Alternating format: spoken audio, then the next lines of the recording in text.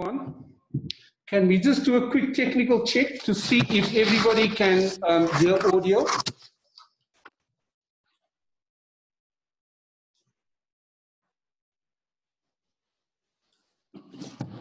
Apologies, my laptop's audio was working and not in this room.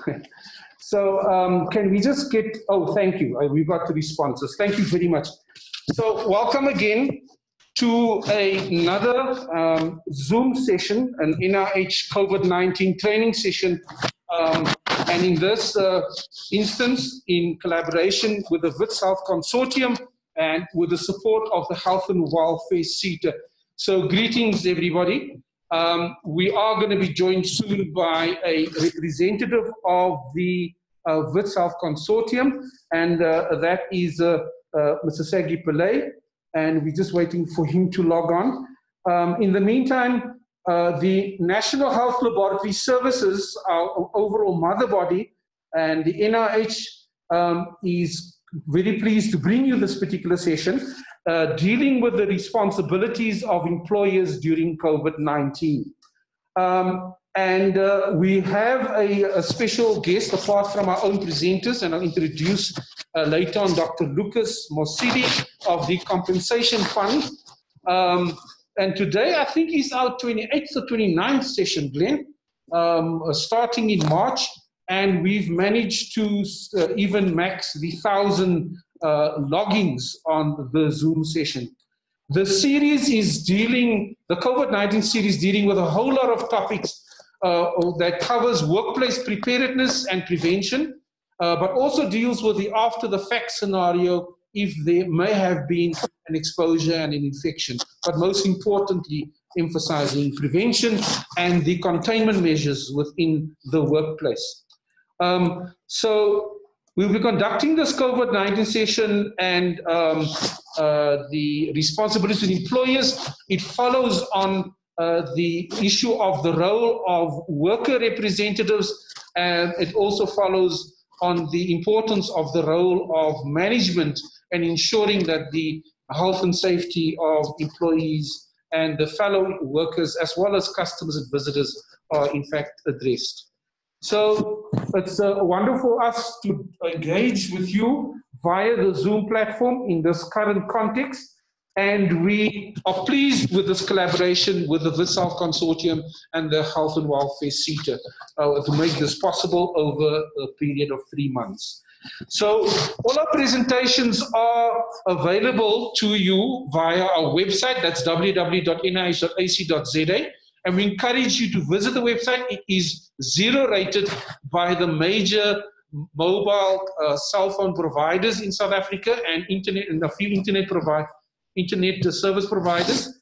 Um, you'll find all the presentations of our sessions there, video and audio recordings, as, um, as well as the other resource materials, the protocols, uh, the um, posters, infographics, etc. Um, there's a wealth of resources at www.nioh.ac.za. Um, you will also find us on Twitter and I'll give the Twitter handle to you uh, later on in this session. Um, so this session's recording will also be uploaded um, soon after this uh, Zoom session is done. In a, a, over a day or two, you'll find it on the website. Um, so thank you for joining. And on behalf of the NIOH team and the Wits Health Consortium and the Health and Welfare Center, we welcome you to today's session. Um, so if Glenn, you can just check if uh, Mr. Pillay is on. Okay, thank you very much, Glenn. So can I just orientate you to the, um, the program for today? Um, that's the program entitled uh, COVID-19 training session for managers. What are the responsibilities of employers during COVID-19? Um, uh, we will be having an introduction on behalf of the Wits Consortium by Mr. Pillay as soon as he's online. Then our first presenter from the NIOH um, is the National SHE uh, Deputy Manager, and that's uh, Michelle Morgan. Michelle is going to deal with the legislative roles and responsibilities of the employers. That's followed by Karen du Preez, also from the NIOH, our occupational hygiene section. And Karen will be dealing with what employees need to implement in response to COVID 19. We have already been joined by Dr. Lucas Mosidi. He is online from the Department of Employment and Labor's Compensation Fund. And uh, Dr. Mosidi will deal with compensation for COVID 19 diseases under the COID Act. And at the end, we'll have our question and answer sessions. Now, just a bit of uh, logistics, a bit of admin. You will see at the bottom of your screen is a Q&A bubble, right? Please only type your questions in that Q&A box. The other box, the chat box over there where I see some comments already, is for general comments and inquiries. We'll only be dealing with questions in the Q&A box. And if you have typed something in the chat box, we're going to ask you to trans copy and transfer your question into the Q&A box. We have a group of panelists of the National Institute for Occupational Health, the NIOH, who's going to answer your questions live during the session. So if your question is in the first column, the question session, if it's answered, it will move to the answered section. Um, please do not make general comments in the Q&A um, and greeting and, um, you know, the, the hello and the thanks comments. Keep that to the chat section. Um, so you click on your on your Q&A uh, icon, it'll pop up and it'll allow you to type your question and you can type your questions to panelists only or you can type your questions to panelists and to the other participants and that would be encouraged. So uh, now um, need to just check if uh, uh, Dr. Play is on. Okay, so once once we have um, uh, that logged on, I need to um, also welcome Dr. Uh, Mr. Sagi Pillay. Uh, uh, Sagi, Mr. Pillay, can you hear me? Okay. Okay, so I've done the, uh, oh yes, and, and, and also very importantly, we will share with you the number, which is the NIOH hotline for any queries that you might have um, regarding COVID-19 in your workplace, the return to work, the workplace preparedness and prevention, and in the case where there may be a suspected or actual tested positive case, um, what are the steps to follow with regard to that? We have a very useful um, protocol as well as the uh, screening form that is available on our website, and that will give you an idea of how uh, you could ensure that your workplace, um, your employees returning to work or arriving at work and customers are regularly checked. I'm going to move on to um, uh, can, can you hear us? Yes, I can, uh, Chair. Thank you very much. Thank you very much. Please proceed. Colleagues, good morning. Uh, my name is Segi Pillay. I'm the uh, Chief Operating Officer for the Wits Consortium. I, I'll just take up a minute or two of your time. I mean, firstly, um, in addition to the earlier welcome, a very warm welcome to you, uh, all the participants on this particular program. I wanted to share a couple of things. Um, firstly, you know, we're very uh, privileged that these sessions are possible through funding from the Health and Welfare SETA. And I must say the Health and Welfare SETA has been absolutely phenomenal in uh, responding to the request to provide these uh, critical uh, training programs, these webinars. And there's going to be several uh, offered over the, the, hello? Yes, proceed, we can hear you. Oh, I lost you, uh, the picture went off. So there'll be several uh, offered in partnership with, the, with the National Institute for Occupational Health over the next uh, three months until the end of August. We've identified, uh, together with the experts, which is uh, NIOH, several topics that are relevant to employers and to employees. To prepare the workplaces and to ensure that the workplaces are safe for the returning uh, millions of workers that have started uh, from last week.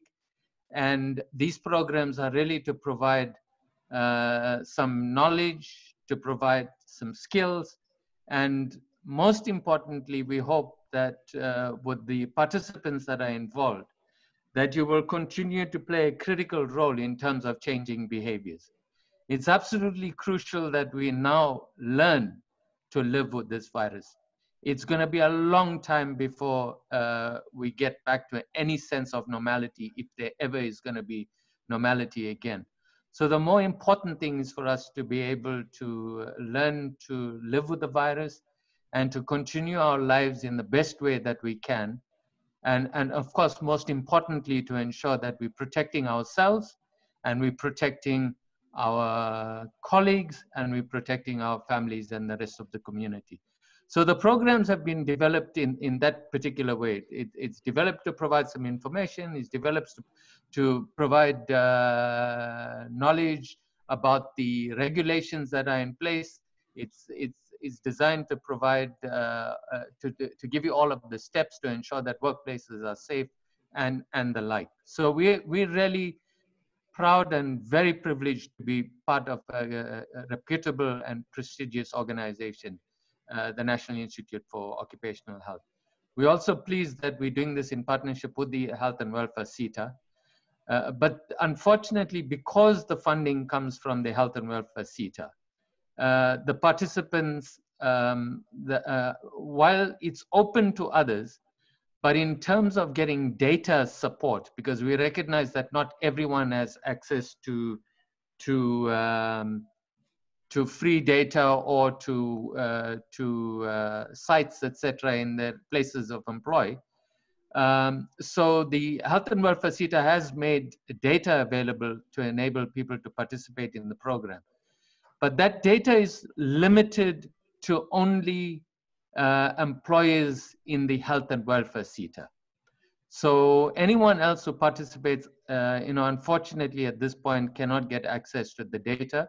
While you may be able to participate in the program, but you'll have to get, uh, you know, either use uh, um, uh, Wi-Fi, etc., at the workplaces, or you're going to have to carry your own.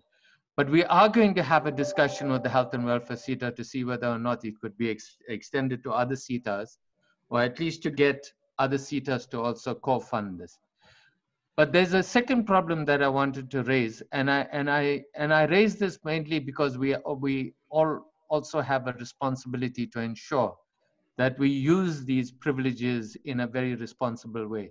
The last session, unfortunately, uh, you know, we download the data for individuals who require the data about an hour before the program. And unfortunately, for the last session, we had we had over 500 people that were interested. And the moment we downloaded the data, the number of people who participated uh, reduced by by by 52%. So I, I just make an appeal that you know we we're very fortunate that funding has been made available and that we've made this funding available to ensure that uh, the most important thing is that we get this knowledge and these skills out to all of the right people and then and therefore we must take responsibility and we must ensure that we all act responsible now i know the people that are on this program are, are, are, are not the parties that are abusing it but I, I'd really appeal to you that when you're talking to your colleagues and you're talking to future participants, etc., please encourage them to use that. So those, and, and there may be very good reasons why people didn't participate in the last session. So I certainly again make the appeal that if you're not, then NIOH is uh, repeating some of these sessions to ensure that we get as, as, as much coverage as possible. So again, for those participants, and if you know some of them, please encourage them to participate in future ones using the data that was already uh, provided. Otherwise, it makes it extremely difficult and, and it denies other individuals the opportunity if we have to start looking at other ways in which we can control the data. So I, I just make a personal appeal and an organizational appeal that you know we all act responsibly in this very very uh, difficult time. But um, uh, but again, thank you very much for for participating in the program. The important thing is get the message out. We, we need to train six, uh, 23,000 people over the next three months. So get the message out to your colleagues that they should also participate in this. Uh, you'll get the contact details, etc., that the that the facilitator will provide, and and and uh, we'd appeal to you to become partners with us in this uh, particular program. Chair, those, those are my my few words from my side. I thank you very much for this opportunity, uh, and uh, best wishes for the rest of the program. Thank you very much. That was uh, Mr. Segi Pillay, the representative of the WITS Health Consortium. Uh, that's part of this partnership, and he's the Chief Operations Officer at the WITS Consortium um, that has initiated this particular program over the three months. Thank you very much for that. So a quick reminder before we move to our first presenter. You have the Q&A section here at the bottom. Please use that box to ask your questions. Only general comments you will have here in the chat one uh, on the other side, we have already received a question that deals with first aid within the context of COVID-19 for a non-COVID-19 related incident. And hopefully that's one of the questions that can be answered and move over from the open questions over to the answered questions as we proceed. We do have a panel of uh, people who are not presenting, who are um, competent to look at the questions being asked. I now welcome our first presenter, and that is Michelle Morgan from the NIOH's, uh, Uh, uh, the SHE, the National Deputy Managing the SHE Department, that's going to deal with legislated roles and responsibilities of employees. Thank you very much, Michelle. Welcome.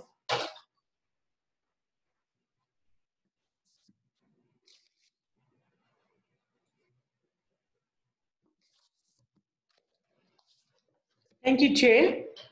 Good morning, ladies and gentlemen. Thank you for making the time to attend this presentation. As the Chair has mentioned, uh, my name is Michelle Morgan, and I am the Deputy Manager for the National Safety, Health and Environment um, Department. And uh, my presentation this morning is on the legislated roles and responsibilities of employers.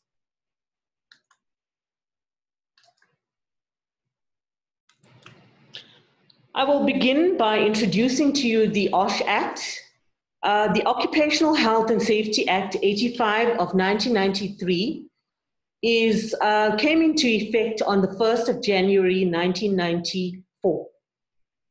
The OSH Act has 50 sections and various different regulations.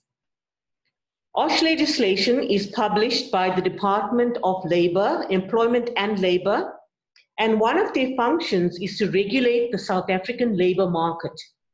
And they do this through inspections, compliance monitoring, and enforcement.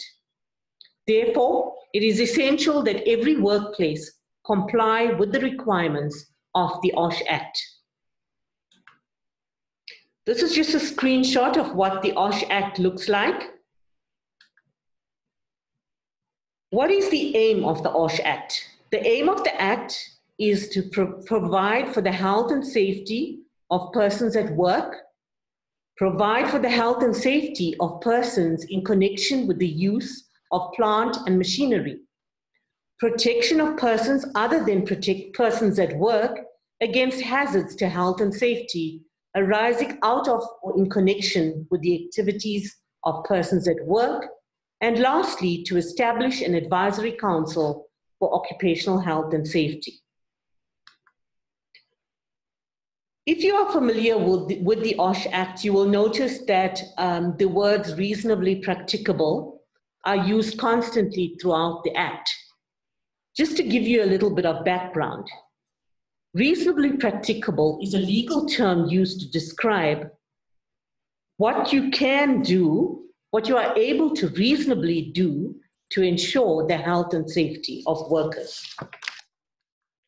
And remember, what you are reasonably able to do will be um, influenced by the severity and scope of the hazard or risk concerned, the state of knowledge reasonably available concerning that hazard or risk, the availability and suitability of means to remove or mitigate that hazard or risk, And lastly, and most importantly, the cost of removing or mitigating that hazard or risk. I'm now moving on to the sections of the OSH Act. Remember, I said there's 50 sections, but I'm going to highlight the most uh, important and pertinent ones uh, due to time constraints. Um, Section 17 of the OSH Act is the health and safety policy.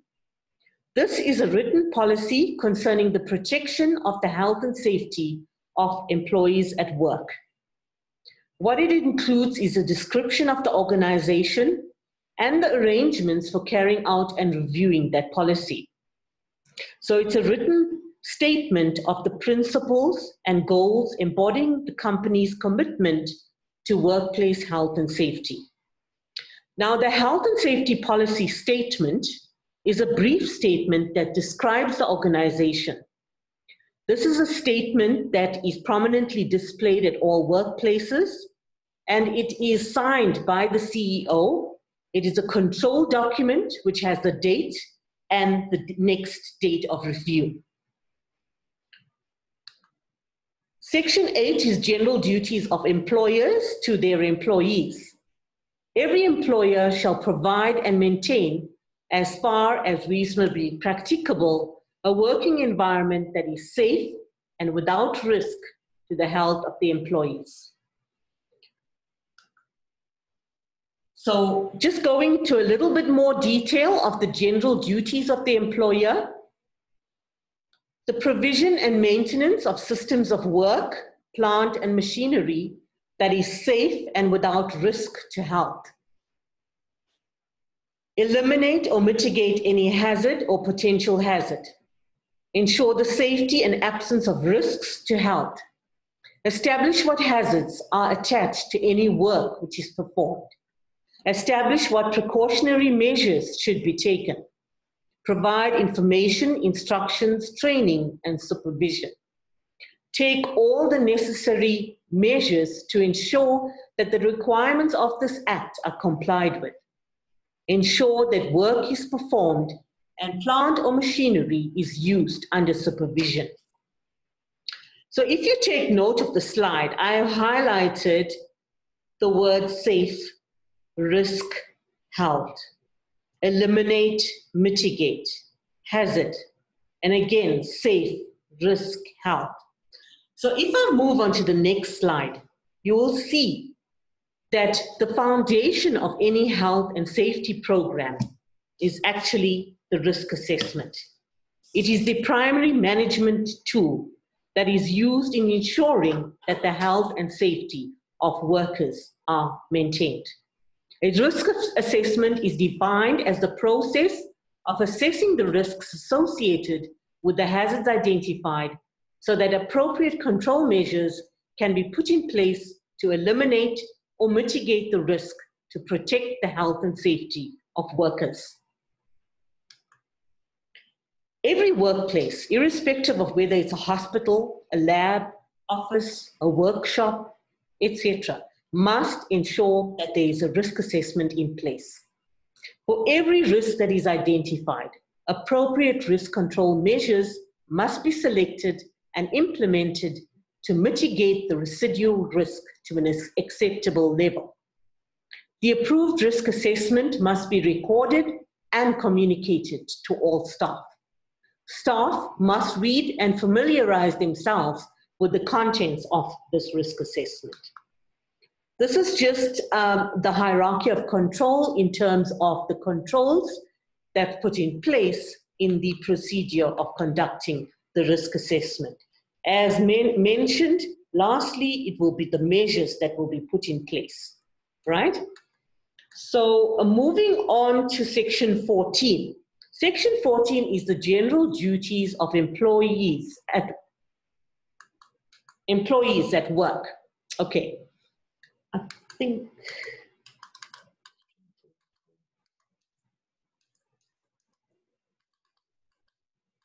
actually think there's a slide missing. There's, I could have made a mistake there. Section 8 is the general duties of employers.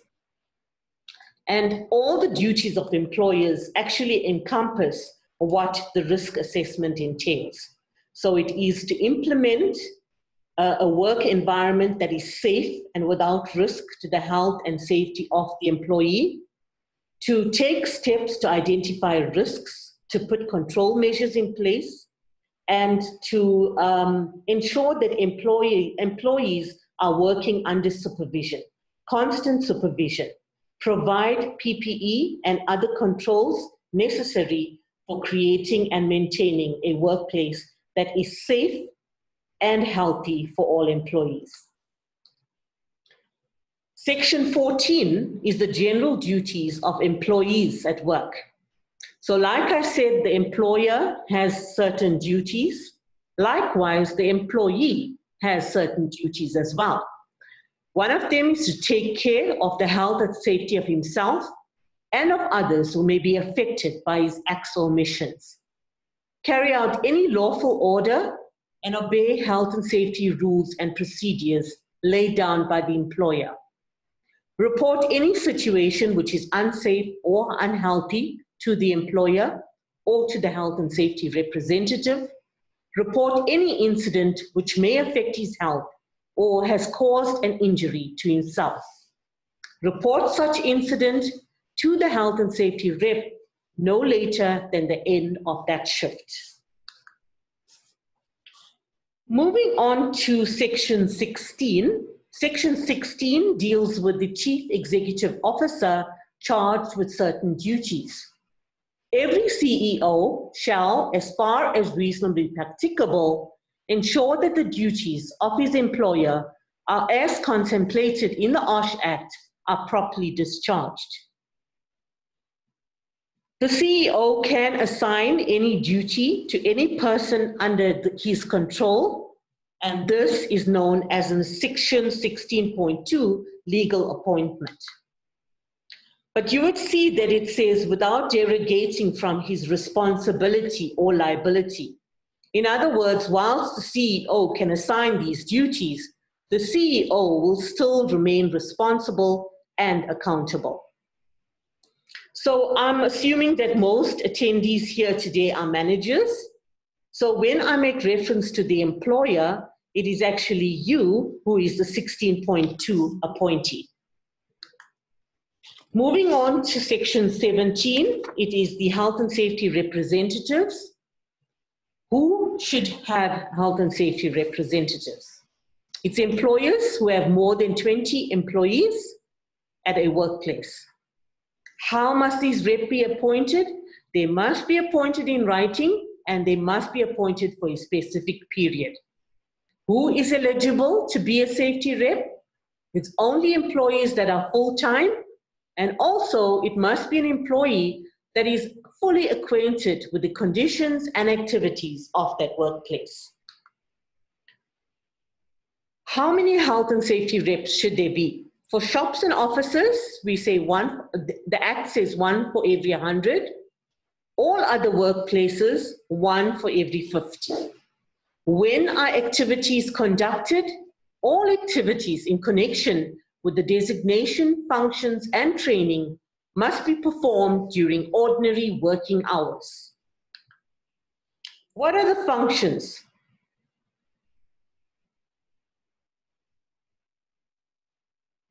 Sorry? What are the functions of the health and safety representative? Firstly, to review the effectiveness of health and safety measures, identify potential hazards and potential major incidents, examine the causes of incidents in the workplace, investigate complaints, inspect the workplace, participate in consultation with inspectors, receive information from inspectors, and attend health and safety committee meetings.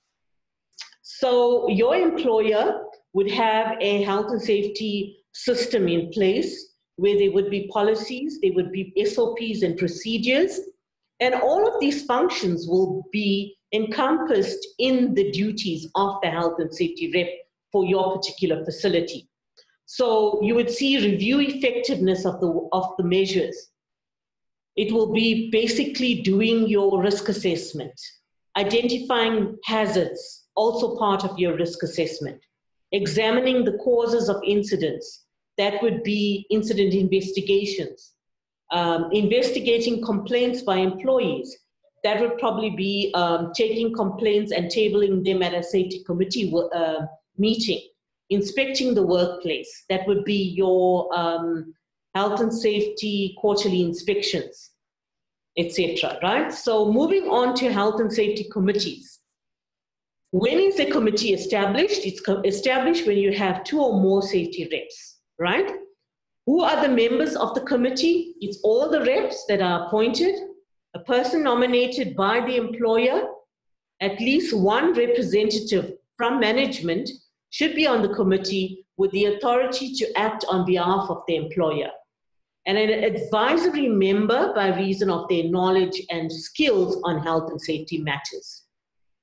How often do meetings take place? By law, they need to take place at least once every three months. Moving on to the functions of the committee. The committee makes recommendations to the employer regarding any matter affecting the health and safety of persons at work.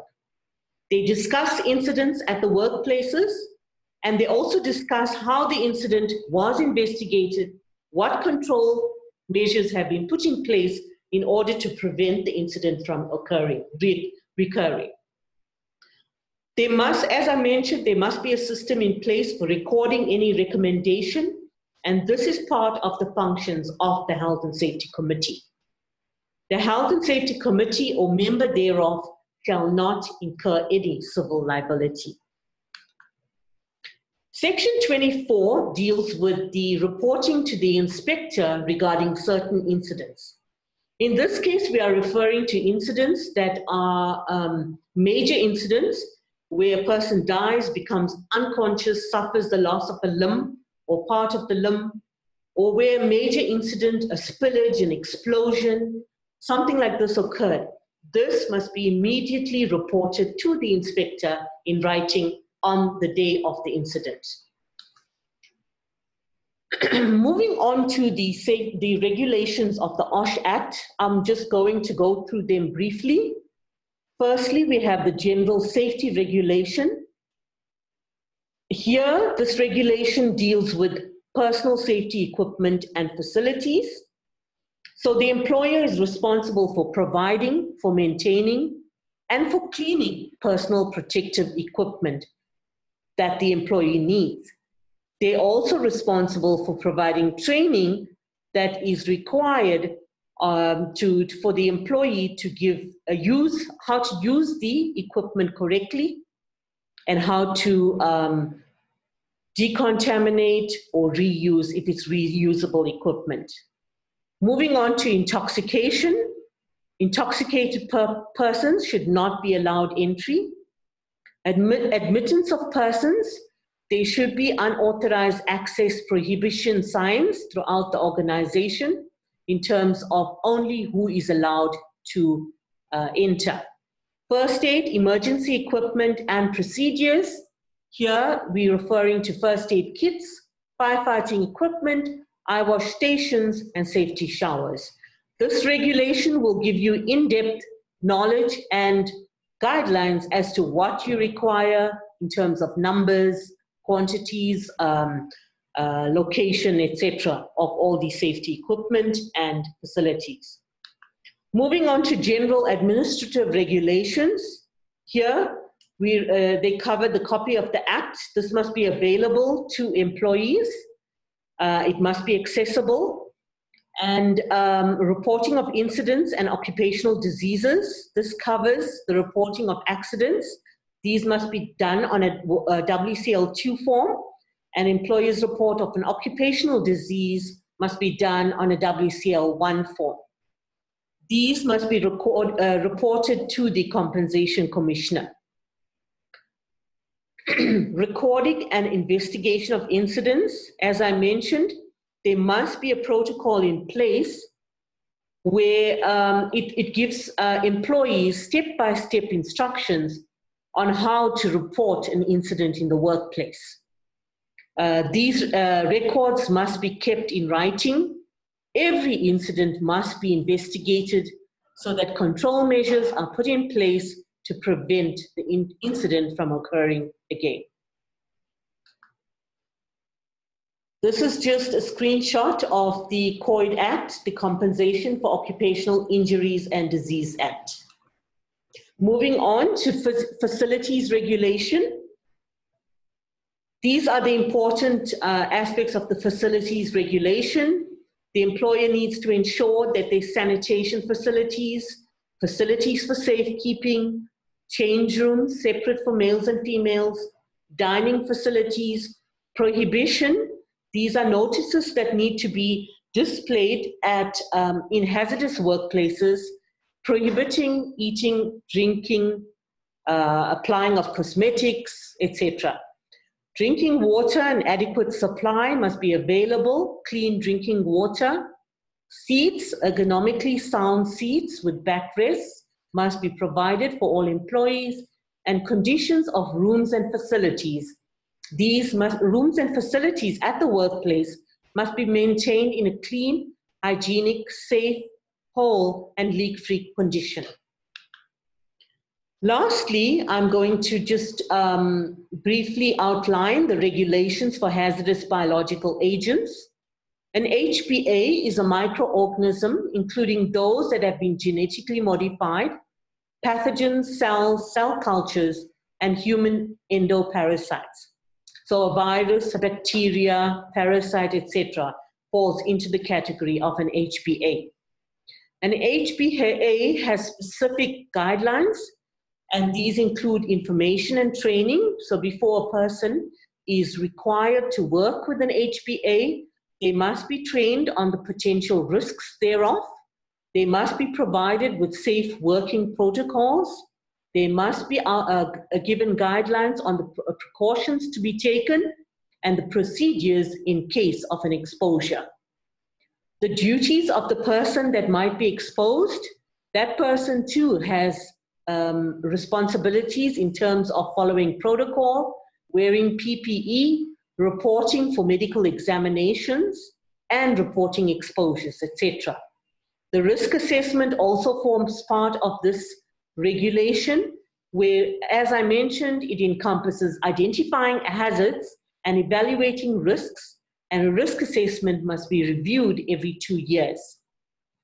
Medical surveillance, you must provide employees if result, with medical surveillance if the results of the risk assessment deem it necessary.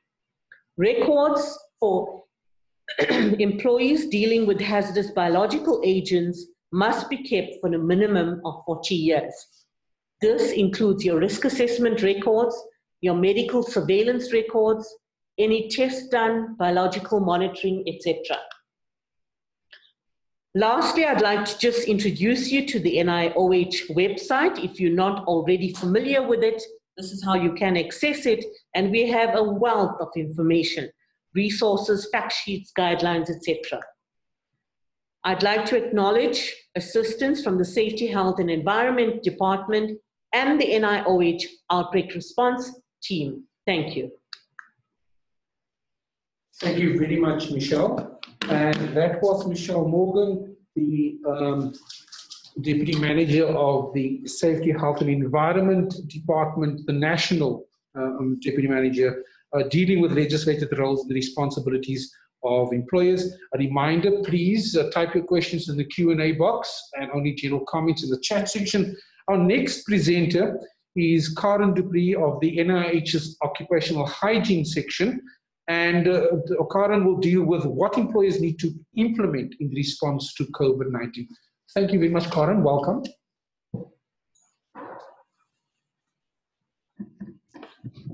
Thank you very much, Mr. Chair. Um, Michelle dealt with uh, the general requirements of the Occupational Health and Safety Act. I will take it one step further, looking at what employers need to do um, and to implement in the workplace in response specifically to COVID 19. Um, as mentioned, the duty of the employer is to implement preventative measures at workplaces to ensure a safe and healthy work environment for all employees, This is dealt with in detail in the Occupational Health and Safety Act. In this current response, also there's a lot of additional documentation that's being published on um, that will be legislation, uh, regulations, directions, guidelines to give specific information. The one we will touch on today specifically is the consolidated COVID 19 direction on health and safety in the workplace. This is the update that was issued on Thursday, the 4th of June, so it's brand spanking new. And it's applicable for the duration of the state of disaster and then until it's been updated. What we've seen now with this situation is as information um, is updated, as new information gets available, and as the situation develops, information is updated continuously. Therefore, the most important thing any employer can do is to make sure that they are up to date with the, um, with the up-to-date documentation as it is published. Um, currently, there are some sector-specific regulations available already that was issued under the regulations under the Disaster Management Act. These, um, as I say, keep your eye on the websites because uh, uh, these are updated and there are new spe um, sector-specific regulations that will be issued as time go on. Um, the consolidated direction that I'm talking about in Annexure B, it specifically gives the aspects that need to be included uh, in these um, sector-specific regulations. Um, the Department of Health's website and then its specific resource and news portal um, always have also provide the links to all of these regulations. This is just so at um, guidelines and uh, at the guidelines link, you will get regulations and directions that is updated as they go on. This is the one that was gazetted on the 4th of June, and it's called then the Consolidated COVID 19 Direction on Health and Safety in the Workplace. Annexure A to these um, to this uh, provides also links to all of the documentation that is referenced in this specific document. So Michelle mentioned specifically about the risk assessment that need to be conducted in each and every workplace. This risk assessment should be reviewed then, usually at least once in two years, but also if the current assessment is no longer valid, um, if there was maybe any of the control measures that are not effective anymore, if any advances allow for more effective control measures to be introduced, and also if there's been any change in the work methods, the type of work carried out, or the type of equipment used. Uh, the risk assessment also need to be updated when an incident occurs or occupational diseases is diagnosed and when, if and when any additional hazard or risk was identified or introduced into the workplace.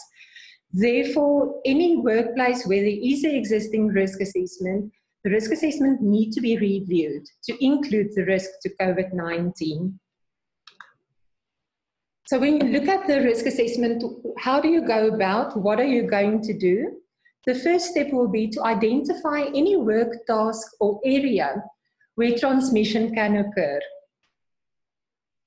Um, this will be when you look at your workplace, any area where people maybe can come into close contact with each other, be it employees or employees towards customers or the public, and any areas that are used by um, many people or um, surfaces that are touched by many people. Specifically, look at things like doorknobs, um, tea rooms, canteens, any area, also your um, hygiene facilities, any area. So, all of those areas where there's a potential for transmission, those areas must be identified. Um, it's also very important to identify vulnerable workers. the Department, uh, Department of Health issued a specific guidance on vulnerable workers, um, giving you guidance on how to identify who is a vulnerable worker and then the measures to put in place. The risk for each task or area need to be assessed individually.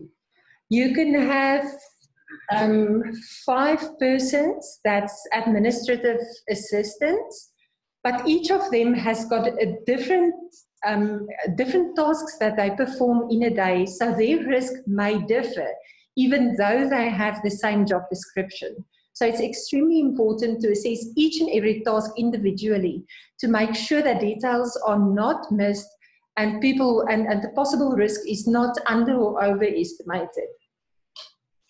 Identify the suitable control measures this will include the, um, the need for PPE um, for each task or area according to the risk rating. There's a lot of guidelines on this as well. Uh, on this, as I say, it's very important to make sure that you go to the websites um, on a regular basis and look at the guidelines um, and the fact sheets or guidance documents that is available. It's necessary to consider any additional hazard that was introduced in response to COVID 19. So, that can be the chemicals that you use for disinfection. As with any chemical that you introduce in the workplace, it's important to look at the safety data sheet. How can it be used? How, um, what is the uh, um, precautions to take? And how to work safely with it. Also, prolonged use of PPE, if that can cause any additional hazard or risk to the user. And then stress, anxiety, and depression that should be dealt with to identify and address. I think um, in a situation like this, transparency is extremely important. And employees need to feel that their concerns are addressed. So it's extremely important for the employer not to ignore any possible risk or any possible uh, um, feeling or um, observation that his employees might have, but to, to have open channel of communication and address this so that employees can be at ease and then review the risk assessment when any changes to work um, processes occur, and also then following a confirmed case of COVID 19 at the workplace. We will discuss that a little bit in detail later. This is just the guidance document on vulnerable employees. It specifically um, addresses who is a vulnerable employee in the context of COVID 19 how to identify a vulnerable employee, um, assessing a vulnerable employee, protecting and managing vulnerable employees in the workplace, and then return to work and incapacity management.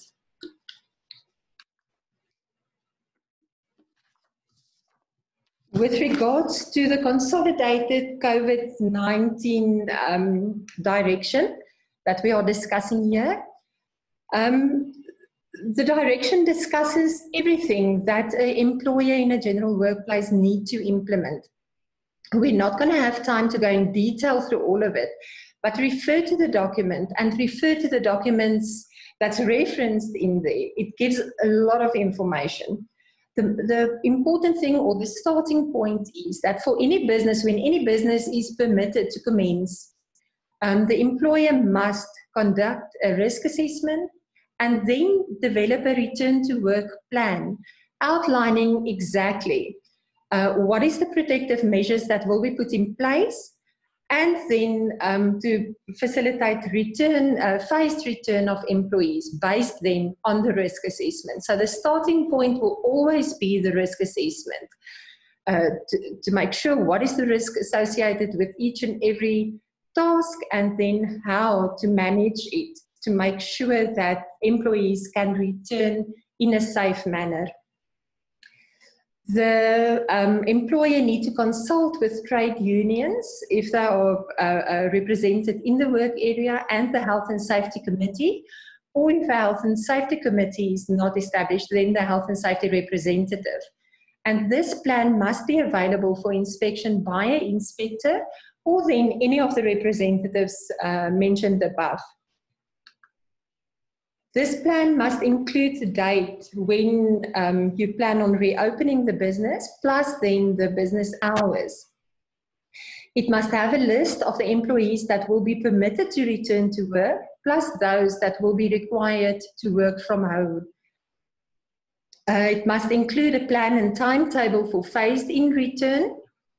It must identify vulnerable workers it must include measures to minimize the number of workers at the workplace at a time and also include the workplace protective measures. And um, there it's very important to re, um, refer to the specific um, sectoral guidelines, directions, and guidance documents uh, for your specific sector then. Measures for daily screening of the employees must also be addressed, as well as screening for clients, visitors, or contractors where that is applicable.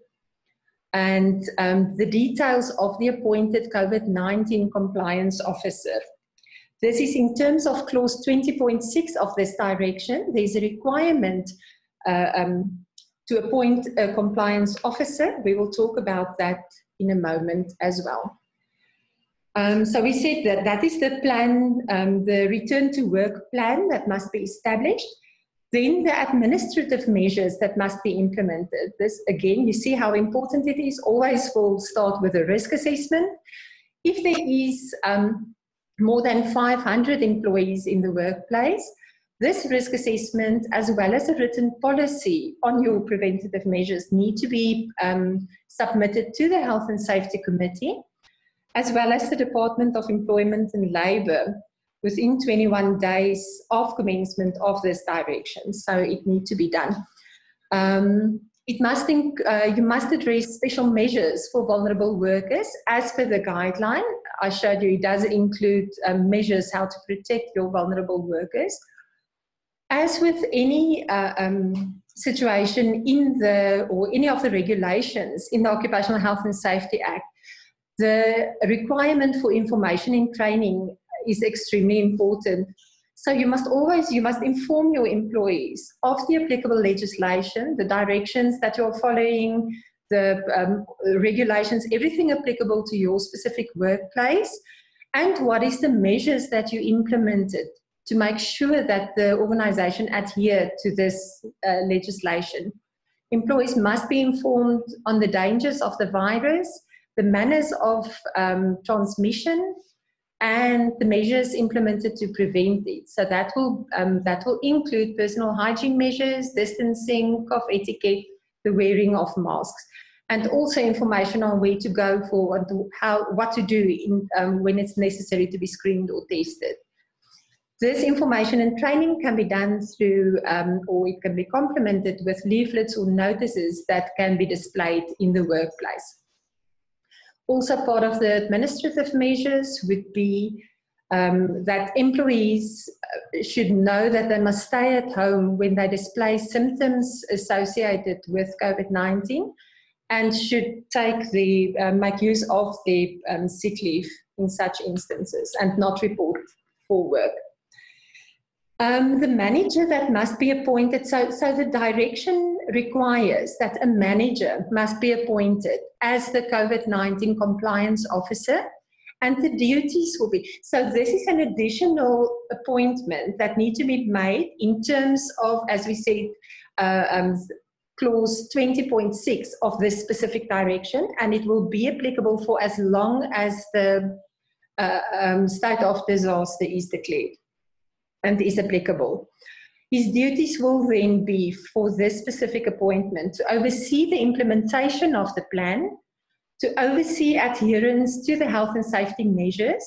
There's also a provision that he can then appoint other employees uh, to perform these functions to oversee the adherence to the health and safety measures if there is one, uh, more than one workplace applicable to this organization.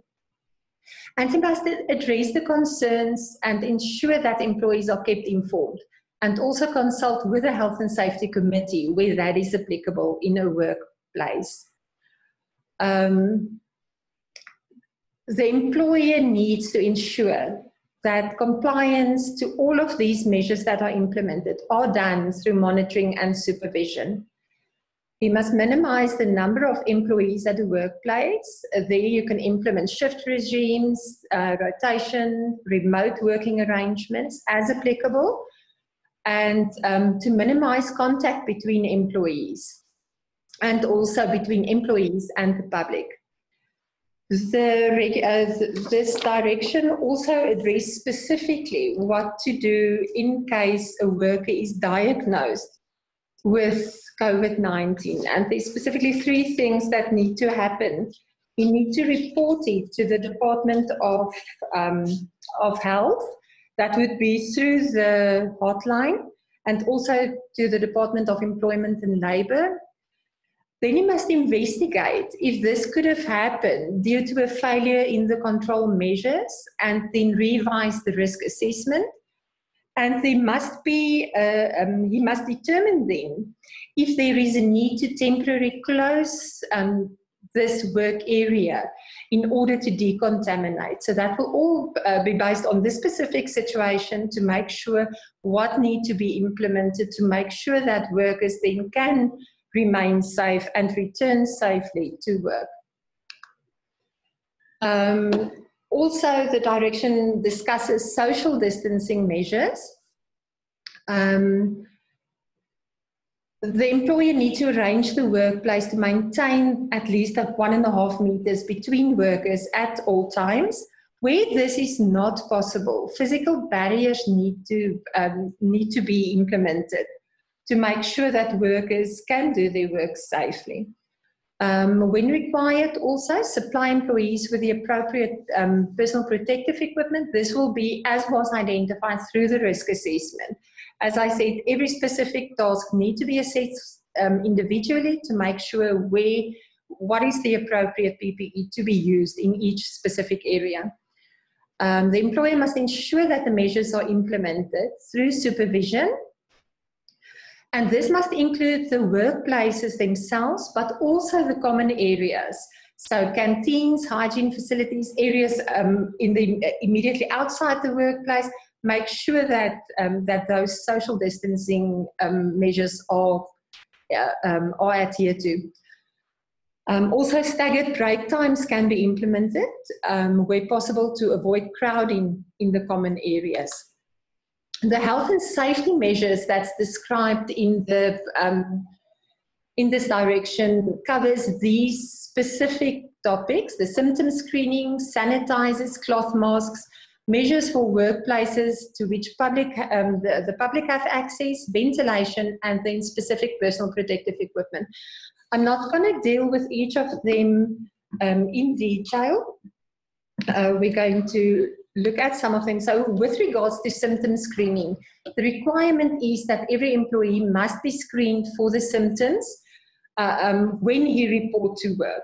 So that can be via a, um, a questionnaire, um, whatever is implemented in that workplace, but to make sure every day and uh, with also the responsibility to the employee to self-report whenever they have uh, or if they present with any symptoms. So this must happen when they report to work. But if they start experiencing symptoms while they are at work, employees have the duty to immediately inform the employer of that. Um, the employer must comply with the um, Department of Health guidelines on symptom monitoring and management. It's one of the documents that's also referenced in Annex A to the directions the specific requirements, the specific requirements that's listed. If a worker presents with, um, with or reports symptoms, what the employer needs to do, the steps to follow to make sure that this person is isolated and then transported uh, to the required, uh, be it for self-isolation or then uh, to, be, uh, to be tested. Requirements, there's also requirements on when to allow a worker that has been diagnosed with COVID 19 to return to work, and the requirements if a worker has been in contact at the workplace with another worker who has been diagnosed. Um, that will require assessing whether it poses a low or a high risk and then the specific measures that need to be implemented there. Um, the sanitizers and disinfectants, as we all know by now, it's the responsibility of the employer to supply hand sanitizer for use by all employees. This will also include if employees are required to, to travel um, to see um, patients or whatever the case may be, or uh, clients or customers or the public, but, but not at the physical workplace itself only. Any work situation, any anywhere where the employee goes to perform his work. Hand sanitizer must be available, available for his use. Um, work surfaces and equipment and any common use areas must be disinfected before, regularly during, and after work. Where possible, biometric systems must be disabled. Um, all measures must be implemented for their safe use, if in any way possible um, ensure the availability of adequate hand wash facilities with soap clean water, and then the requirement is for the use of only paper towels and not cloth towels at the workplace. And it's the employer's responsibility to ensure that employees make use of all of these measures that's implemented. The use of cloth masks, as we know now, is, um, is a requirement whenever you are in a public place Employers must provide every employee with at least two cloth masks. This is um, specified in this direction. Um, and these must comply. There's also a requirement or a Department of Health um, document on cloth masks. Um, and this is for use at work. That will be if other uh, respiratory protective equipment is not prescribed, and then when commuting to and from work anyone entering the workplace, if it's a worker um, or a visitor, must wear a mask in the workplace. The, uh, the, the, specific sectoral guidelines will um, give you information on the number or the replaceability of these, um, and workers must be informed on how to use it correctly. And we, uh, what is just extremely important for me is that the risk of COVID 19 must be addressed and managed together with risks usually present at the workplace. Um, so, if your risk assessment identified that um, you must wear a respirator, be it an N95, be it an FFP2, for the specific task that you are performing, you cannot now replace it with a cloth mask in any way. So, that will mean your usual PPE will be worn while you're doing your work when you go on your lunch break, you will take off and store your PPE as you would always do, and then put on a cloth, cloth mask to go to the canteen. When you come back, you will um, put on your required PPE again to do your workplace. I think it's very important um, to ensure that. Any workplace where the public have access to, the measures, the same measures will apply to make sure that the um, worker is protected from any exposure due to contact with the public and vice versa. So the employer needs to make sure that the number of people he allow inside his premises can be accommodated, uh, still allowing for at least 1.5 meters space he must, uh, where, uh, where necessary, need to um, implement physical barriers. Where it's appropriate, symptom screening need to be done. Notices can be displayed. Um, and sanitizer need to be implemented as so all the measures that we are familiar with to make sure it's applicable to um, ensure everybody's safety. There's a requirement for ventilation so a workplace must be well ventilated by natural or mechanical means. Um, where it's reasonably, reasonably practicable, uh, local extraction ventilation can be um, implemented with HEPA filters, but when these are used, it's extremely important to ensure that the vents do not feed back through open windows. Um, and to ensure the regular cleaning and maintenance of these and replacement of filters by a competent person according to the manufacturer's instruction. Uh, we did talk about personal protective equipment. Please check the websites regularly and uh, where appropriate, the um, PPE that is accredited must be provided. for workers. There's also requirements in the direction for um, small businesses with 10 or less employees. It's basically still the same. You will see it's uh, very similar, applicable then to a small, uh, smaller situation.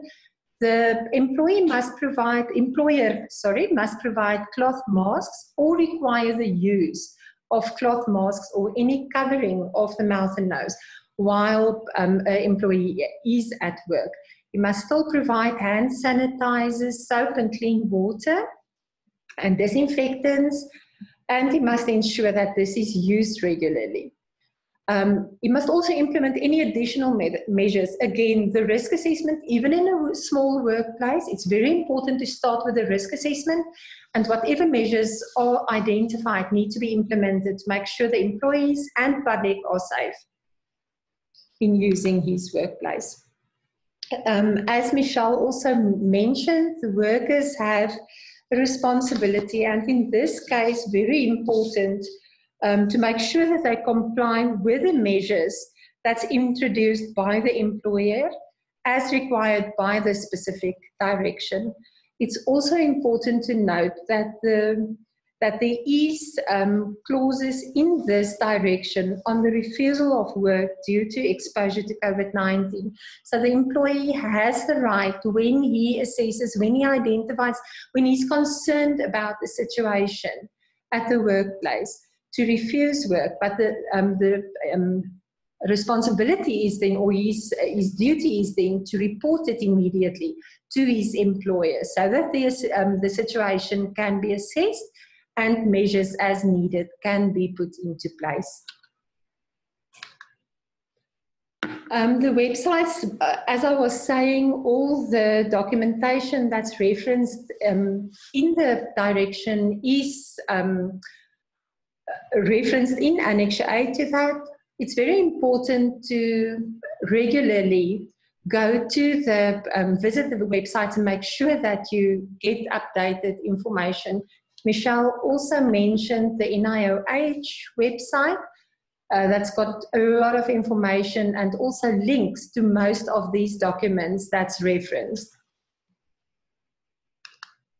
Um, or um, any questions to the NIOH can be posted to our um, to info at NIOH, and there's a 24-hour hotline for workplace queries that's that is still active. Thank you very much. Thank you very much for that, Karen. Um, and that was uh, my colleague from the National Institute for Occupational Health, Occupational Hygiene section, um, dealing with the question of what employers need to implement in response to COVID-19. Thanks for that, Karen. Our next uh, presenter is Dr. Lucas Mosidi from the Department of Employment and Labor's Compensation Fund. Uh, Dr. Mosidi, can you hear us? Yes, I can hear you very well.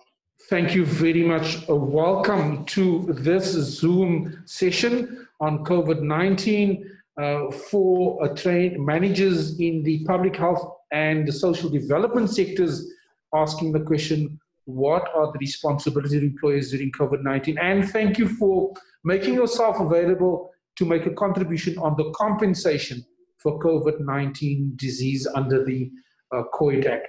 Please proceed, uh, um, uh, Dr. Mosidi. Do you have your presentation ready to share? Yes, uh, let's do this. Thank you very much. Please proceed.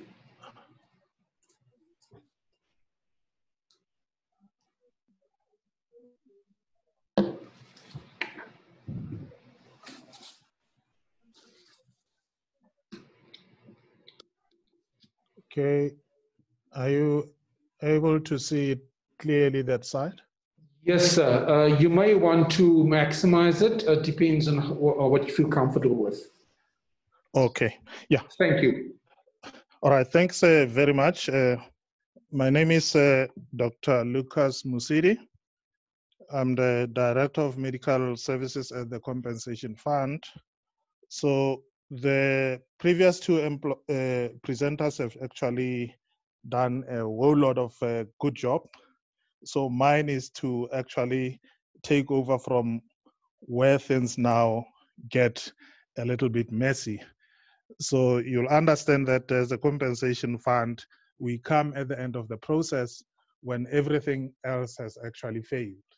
So the failure of uh, Occupational Health and Safety Act and uh, other acts that deal with uh, prevention will then culminate into us as the compensation fund having to compensate employees who contract uh, occupational diseases or who gets injured at work.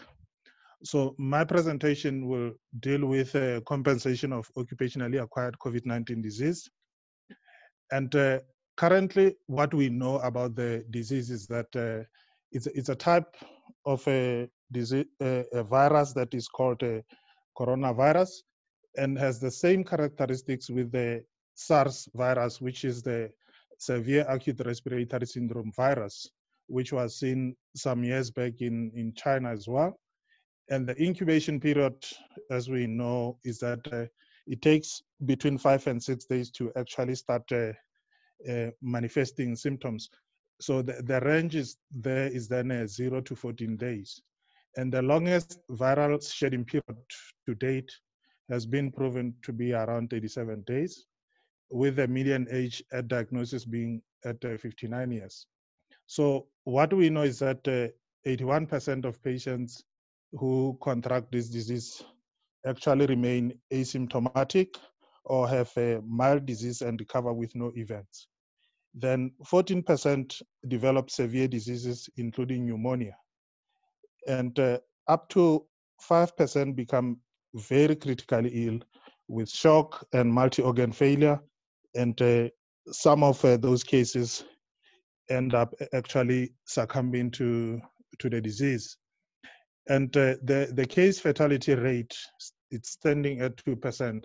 So the range there is actually 0.2% in those who are under 50 years of age and uh, can go as high as 14.8% in those over 80 years. And we also know that uh, older age and uh, pre-existing conditions increase mortality.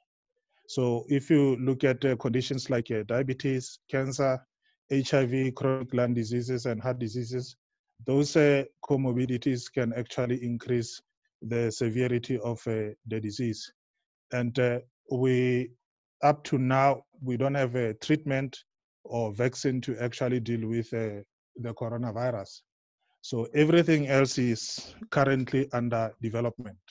So you'll see that uh, in most of my slides, I've uh, tried to touch mostly on uh, some of the clinical aspects of uh, COVID-19, but I'll have, because of uh, time constraints, have to, to actually jump some of the slides that I have. So on the slides, when it we, we talk about the transmission, we actually referring to the, the transmission from person to person or contact uh, with uh, contaminated surfaces and we know that uh, transmission between person to person is actually through droplets which are suspended in the air during coughing or sneezing from an infected uh, individual. So that's how uh, COVID-19 is actually transmitted. And uh, it, it, does take uh, various uh, clinical stages to present itself. And we have said that up to 81% of those pe people who contract COVID-19 will have mild symptoms and recover without uh, events. And uh, one of the critical things that we actually use when we're looking at compensation is the clinical diagnosis to say that uh, what, how, how was the disease actually diagnosed. So initially, and uh, I think some of uh, the this still uh, stands today, is that uh, the diagnosis is made through a sputum nasopharyngeal or oropharyngeal swab specimen that is collected from all patients at uh, admission. And those are tested by real-time polymerase chain reaction for SARS-CoV-2. And uh, in the initial stages, it was said that uh, the testing has to be done within three hours of collection. But we know that uh, in practice, that is actually not happening because of uh, different dynamics and uh, all other logistics that uh, each country actually experiences. And there are also tests that have come into the market now. So as a compensation fund, we will actually consider any test that has been used to diagnose the, the coronavirus that has been approved by the Department of Health. And then when you look at the populations at risk, we know that the elderly are mostly at risk, those who are above 50 years, especially so when they are more than 70 years old. And uh, infants and children, although they are not workers, we know that they are also populations at risk because of their immature immune system. And then we have uh, pregnant and postpartum women because of uh, physiological changes during pregnancy. But we also have uh, those who are immunocompromised, who might also be amongst the workers with HIV, uh, cancer, diabetes, and other immunocompromising conditions. And uh, people with cardiovascular diseases, hypertension, especially when it's not controlled and severe, and other types of heart diseases can actually be at greater risks uh, and uh, we have uh, people with chronic lung disease, whether it's COPD, chronic asthma, and especially when it's not controlled. And from an occupational health point of view, we also have uh, people with uh, pneumoconiosis, those who might have uh, asbestosis, silicosis, or coal workers pneumoconiosis, they are also at increased risk of contracting COVID-19. So there are a lot of uh, prevention modalities that have been suggested by the Department of Health and uh, its uh, uh stakeholders that I'm not going to go through, but uh, I have uh, mentioned some of the modalities that have been suggested in this slide. And with regards to treatment, we know that currently there's no proven treatment or vaccine to date and that uh, the what health uh, practitioners are actually doing they're just uh, providing supportive and symptomatic treatment and uh, severe cases they will from time to time maybe need uh, admission to hospital and that uh, those critical ones then will need icu or high care admission with or without mechanical ventilation now when it comes to compensation as the fund for, in terms of uh, Section uh, 45 of the COID Act, we are required to consider all claims that have been submitted to us and then adjudicate to determine liability. So what we look at when we determine liability is uh, that uh, th there are actually three conditions that we, we look at. The first one being that uh, that disease must have been acquired out of employment.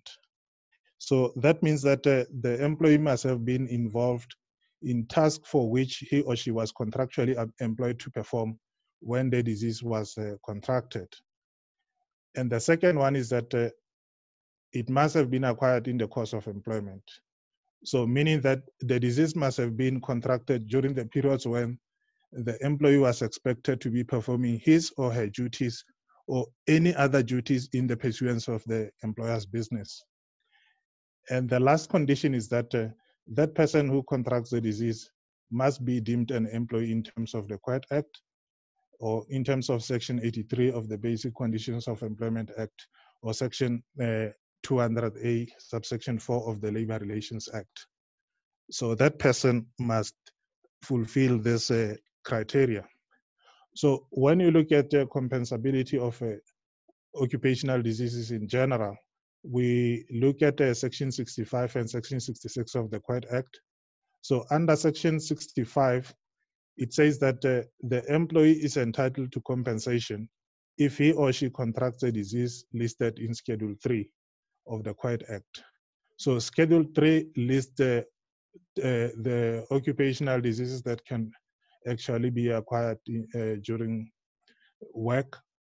So if the disease is not listed but it can be proven that it was acquired in the workplace, liability then has to be accepted by the fund. And uh, still under Section 65, it says that uh, if a pre-existing condition makes it difficult to treat the occupational disease, treatment for the pre-existing condition must also be approved.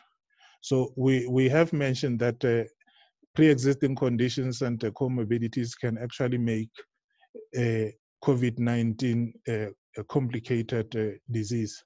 So in those cases where the pre-existing condition has actually been disclosed and we know about it, then we can actually also approve treatment uh, for that pre-existing condition during the time when uh, the person is admitted to a hospital. And when we also determine permanent disablement, the impact of the pre-existing condition must also be taken into account for the determination of a permanent disablement benefit. And then under that section, we also say that the claim must be submitted within 12 months after the diagnosis of the disease by a medical practitioner. Otherwise, benefits will prescribe. So these uh, conditions must uh, be taken into account. And then section 66 says that uh, an employee who contracts any disease while performing work listed in Schedule 3 is also entitled to benefits under the COID Act. So if the disease is not listed per se in Schedule 3, but the work that the person was performing is listed there, we can also uh, presume that that disease was actually uh, contracted in the workplace until proven otherwise. And uh, there are certain occupations which will be, of course, more at risk than others. And in the advent of uh, COVID-19, we know that uh, employees who travel frequently on work assignment are more vulnerable to contracting uh, COVID-19 than people who don't travel. And transport and tourism staff will also be more vulnerable, whether it's pilots, cabin crew, professional drivers, tour guides, because of their interaction with uh, various clients, then uh, those people are also at risk. And you're also looking at uh, front desk employees who deal with customers, like in working centers, retail shops, restaurants. Even though in this uh, kind of workplaces, the burden of proof is very high, the, those people will be classified as high risk as well. And then you also look at uh, all categories of healthcare workers, including those who are working at in mortuary.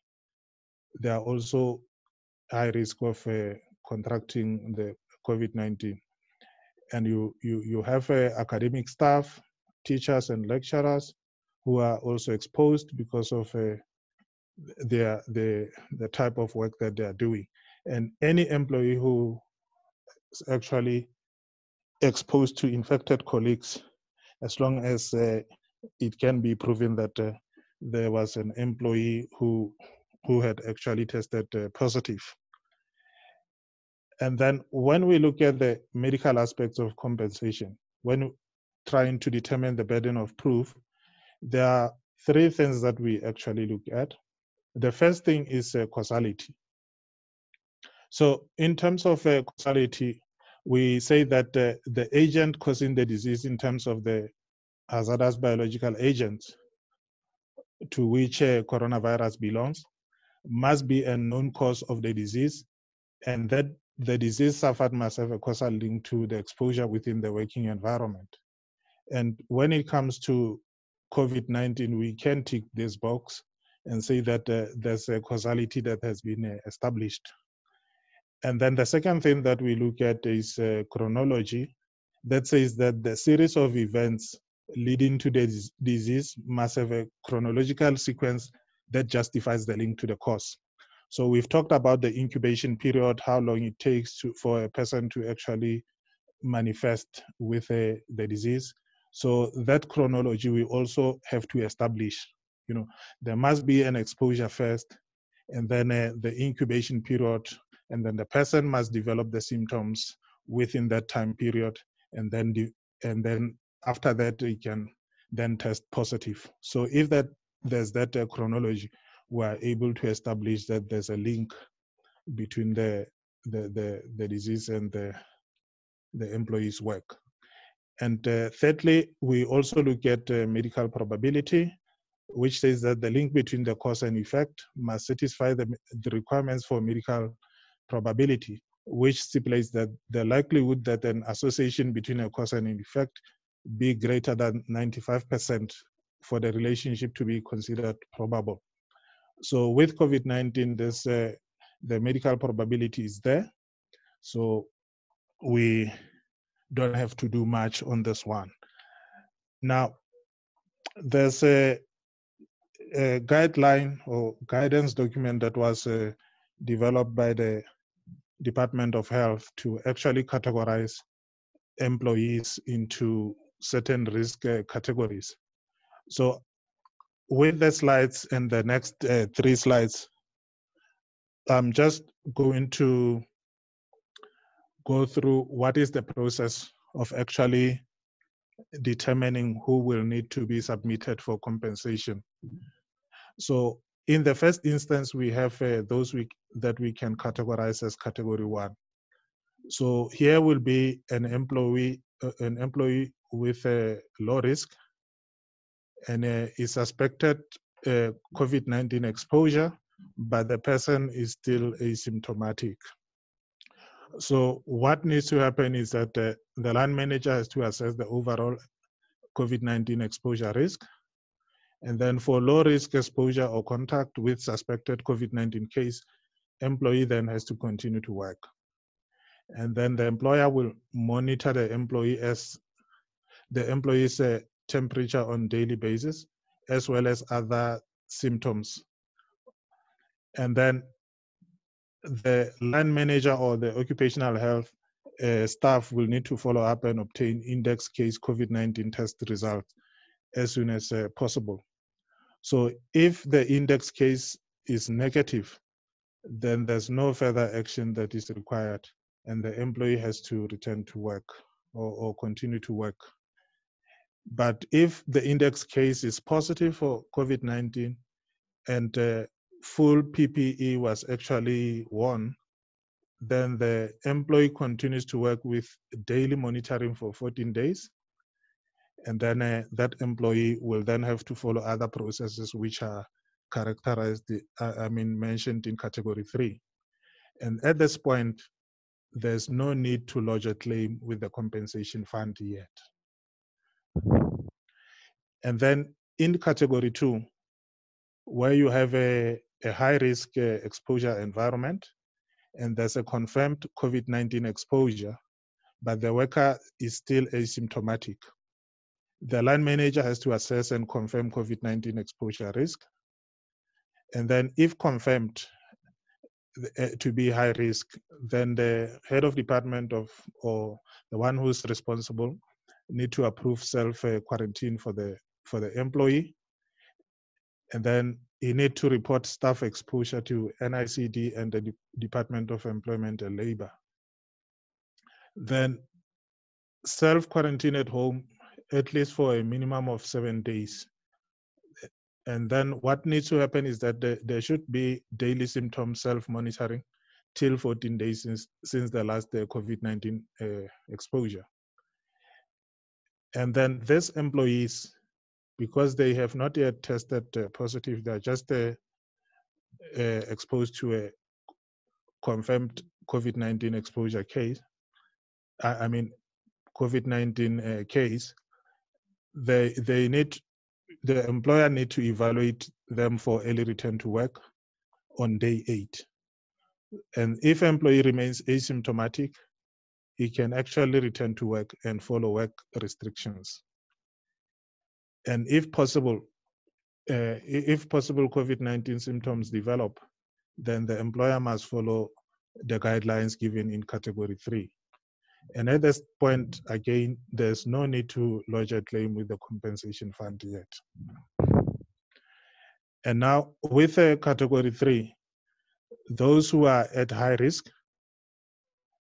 and uh, the worker actually has symptoms compatible with uh, acute respiratory infection, the employer has to assess validity of symptoms by a health professional. So these uh, employees need to be referred to a health professional to assess the validity of symptoms. And uh, if that person does not qualify as a person under investigation, uh, the employer then will have to follow the usual sick leave procedures. And then if uh, that person uh, stays well or asymptomatic or I mean or recovers from the acute respiratory infection, he can then return to work as as uh, soon as possible when the, the sick leave actually expires. But if that uh, employee start developing the acute respiratory symptoms again, he need to be referred for for testing. So when the the the, the tests results come back uh, positive, he must then follow category four, which we will outline in the next uh, slide. And then this employee must be reported to the NICD and the Department of Employment and Labor.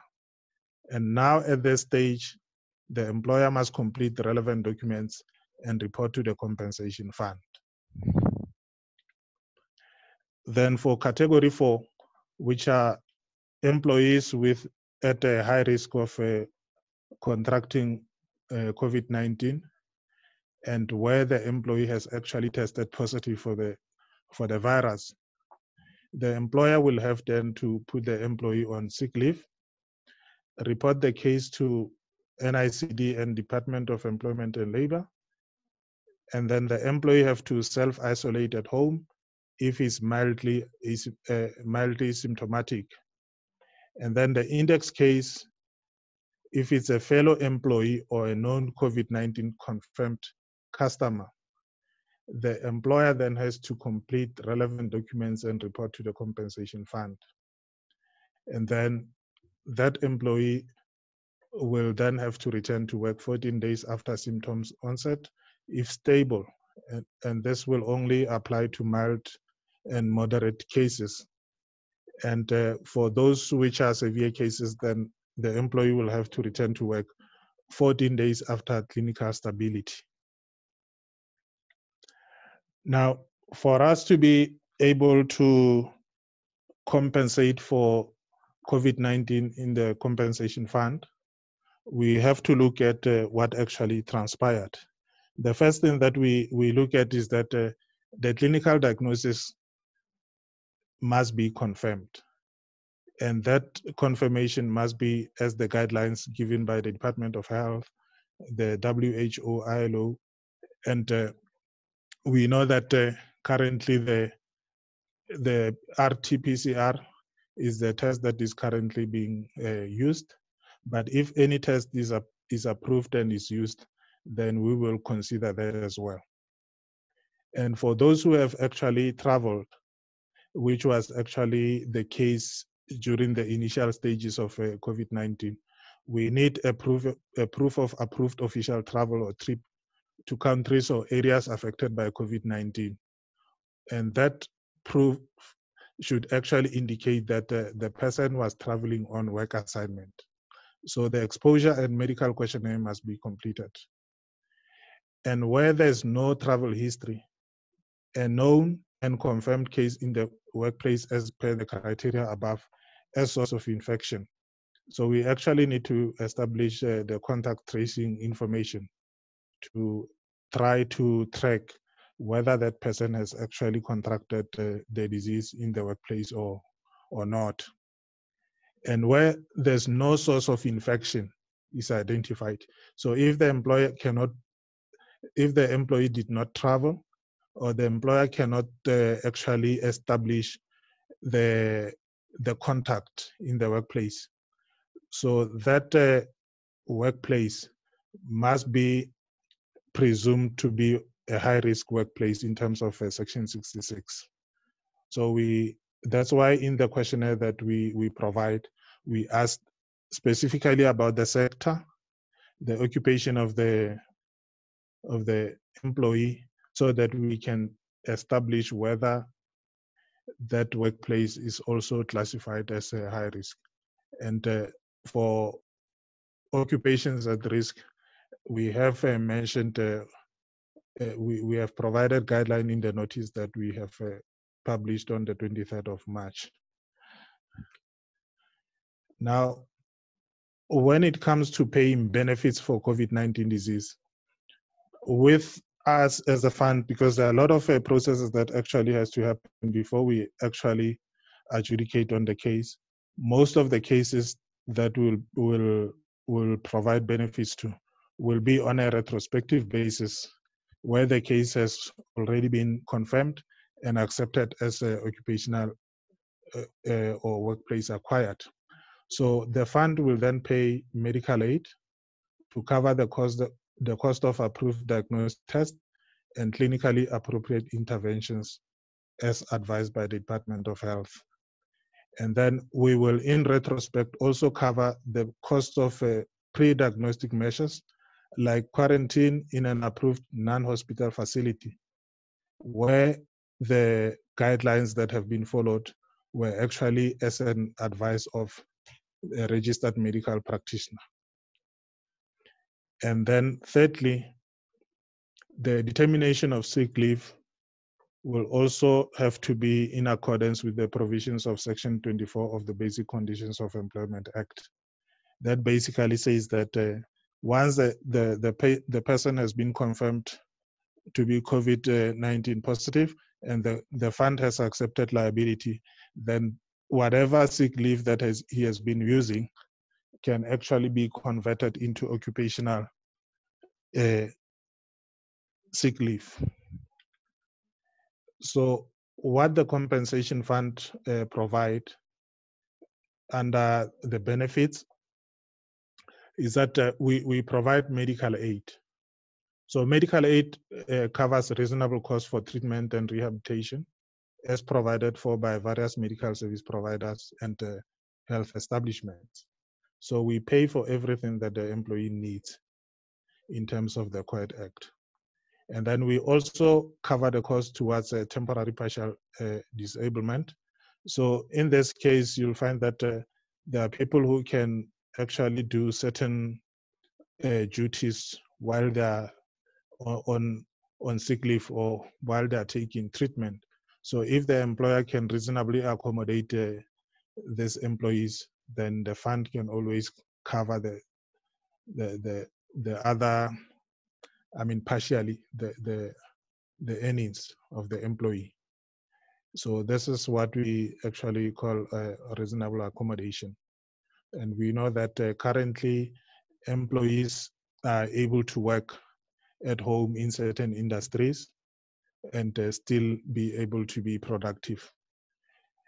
Where employees cannot, because of uh, the severity of the disease, cannot do anything, then we'll also pay for temporary total disablement.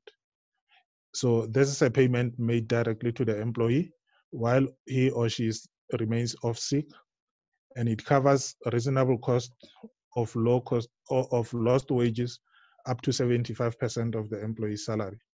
And we pay that from the fourth day of injury or disease. And for such period as the employee may remain unfit to work, but not exceeding 24 months. So in our notice, we have indicated that uh, this TTD is actually going to be paid for up to three months. I, mean, for up to 30 days. And any extension of TTD will then depend on the severity of the disease in, in, in a particular employee and the complications that actually result from that employee contracting the disease. So we will treat each case on a case by case basis. And then we also pay for permanent disablement, whether it's a lump sum or pension that is paid to employees whose diseases have actually reached permanency and no further improvement or deterioration is envisaged after maximum medical improvement status is actually reached. So mostly if uh, this uh, disease complicates, there might be uh, an anatomical loss or functional loss that uh, employees suffer. So if uh, those uh, losses are actually proven, then we, we can determine permanent disablement and then pay the employees accordingly. And as the fund, we also pay for death benefits for fatal injuries or diseases. And uh, that will then also include pay independence of the employee an amount not exceeding 100% permanent disablement, which is referred to in section 49, subsection 1. And currently, as a fund, we pay in funeral costs, which are actually a once off payment of 18,251. So, under the, the Compensation for Occupational Injuries and Diseases Act, various uh, benefits that I have mentioned are actually covered under different sections and how we actually calculate them.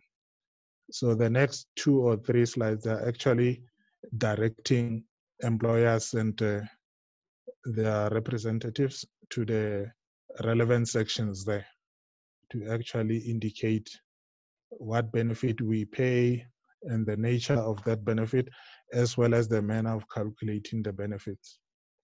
So you'll see that uh, we we have a TTD, and uh, we've given the manner there, and uh, under permanent disablement, we have a different ways of actually uh, paying and calculating permanent disablement uh, benefit, which I'm actually not going to go through.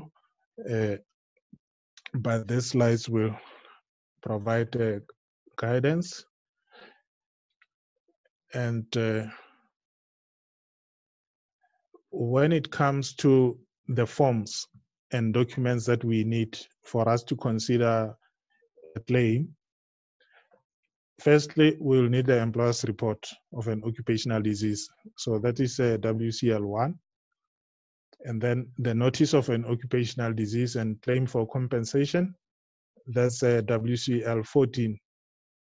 And we've also included the exposure and medical questionnaire that need to be filled to cover some of the areas which are not uh, covered in the two previous forms. And that we also need a first medical report in respect of an occupational disease. So that is a WCL 22, which must uh, then be filled by a medical practitioner and submitted to the directly to the fund or to the employer, then the employer can then submit the documents to us.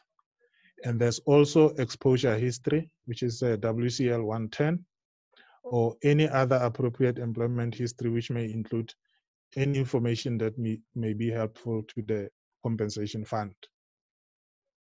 So these are the initial things that uh, we actually need. And then, uh, of course, we also need the laboratory results, which actually confirms the diagnosis for COVID-19. And any other investigations that actually have been done, whether be it uh, radiographs or laboratory tests that can actually also assist us in making a, a decision. We need that. So once we have received all these documents, then we are able to adjudicate and move forward with the claim. And then later then we'll only then need a progress medical report when the employee has consulted the doctor for a second time. And then the final medical report when that uh, the employee has actually recovered. And then uh, in cases which should actually be rare, we also consider an affidavit by the employee if the employer cannot be traced or will not timeously supply WCL1. But I know that uh, this will be the rarest case because uh, most employers are actually very compliant. So we hardly ever need an affidavit from an employee. And that's the end of the presentation. Thanks very much.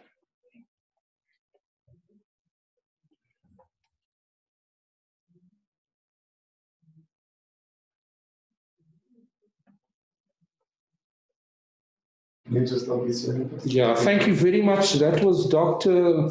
Uh, Lucas Mosidi. Um, and uh, from the compensation fund dealing with compensation for COVID-19 disease, where that is. I just need to just reset our um, Dr. Mosidi, we are going to deal with uh, uh, some of the questions that have arisen. Um, can you see uh, some of the unanswered questions on your side?